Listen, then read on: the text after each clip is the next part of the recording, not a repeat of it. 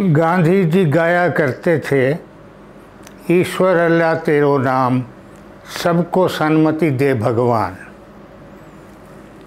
मैं हैरान होता हूँ।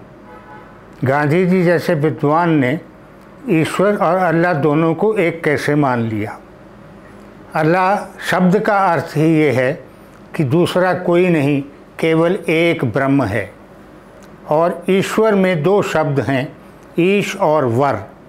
ईश का मतलब है मालिक, वर का मतलब है सीनियर, बड़ा। तो इसका जब हम ईश्वर कहते हैं तो हम ये मान लेते हैं कि बहुत से परमात्मा हैं, उन परमात्माओं में हम सबसे बड़े परमात्मा की आराधना कर रहे हैं। तो ये तो फिर ईश्वर अल्लाह नहीं हुआ। फिर जितने शब्द हम ईश्वर के लिए और प्रयोग में ला रहे हैं, उनके बारे में भी विचार करने की ज़रूरत है। जैसे शब्द है भगवान, सबको सन्मति दे भगवान। अब वान का अर्थ तो होता है चलाने वाला, धारक।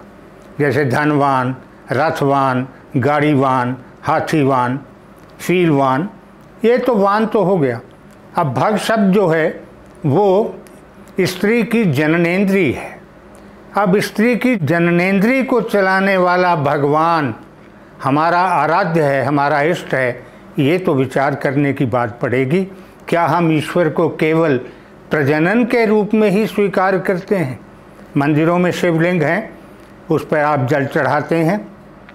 शब्द ही बता रहा है कि आप शिव के लिंग की पूजा कर रहे हैं, नीचे वाले भाग को योनि कहते हैं। ये शब्द अगर आपके बच्चे घर में बोल दें तो आप उनको डांट देते हैं।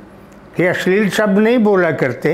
लेकिन मंदिरों में आप भगवान को अगर सेक्सुअल सिंबर के तौर पर ही पूजा कर रहे हैं तो फिर इस पर तो विचार करना ही पड़ेगा। जब भी चाहें तब कर लीजिए।